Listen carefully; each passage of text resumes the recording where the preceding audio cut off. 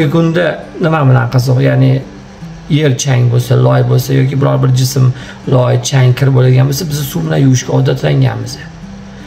Organizmda ham xuddi shu narsani qo'llash mumkinmi? Arzon tozalash uslublaridan bittasi ya'ni organizmga yordam beradigan uslublardan bittasi bu shamollagan taqdiringizda o'sha bosh og'riq bo'lib turibdimi tomoq og'riq bo'lib turibdimi? Tomoq og'riq kuchli tomoq og'rig'i ayniqsa bu viruslarga xos angina yoki bakterial o'sha iring bilan qoplangan bo'lsa o'sha bakterial infeksiya qo'shilgan bo'ladi.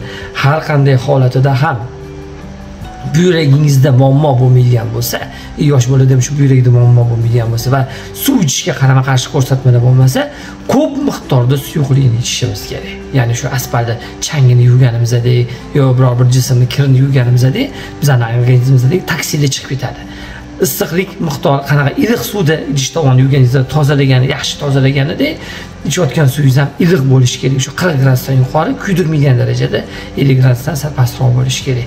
Shu oraliq suvni tinmasdan ichish kerak ya'ni ho'plab ho'plab ho'plab ho'plab va o'sha pyurelar orqali va yozilish orqali barcha taksida chiqib ketadi. Mana mana shuni o'zi ham tana haroratini tushishiga bolada immun tizimini shakllanishiga nafaqat bolada kattalarda ham tezda tuzalishga sababchilardan bittasi bo'ladi. Ya'ni tozalangan joyda toksinlardan tozalangan joyda viruslar va bakteriyalarni asosan eng yomon ta'sir qiladigan narsasi va tana haroratini ko'taradigan narsasi nafaqat antigenlar va ularning hayot faoliyati davomida ishlab chiqarilgan toksinlari bo'ladi zaharlari bo'ladi shlaklari bo'ladi.